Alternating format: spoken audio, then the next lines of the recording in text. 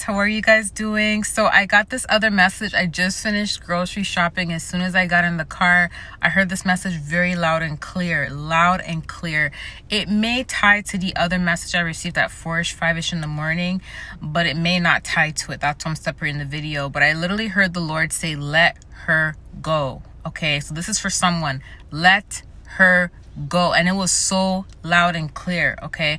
Now it can be a couple of things. It can be that the message i received at 4 or 5 this morning about whatever spell work they've done has hit them back. It could be that that's what the lord has told them like let let her go um or it could be a situation where god just wants whoever this message is for to let this specific it's definitely a female that you have to let go.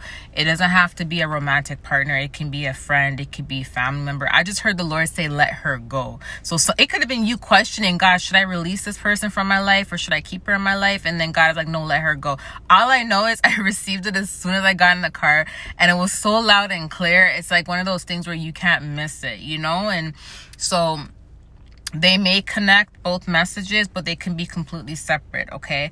I love you guys. I'll talk to you soon. Bye.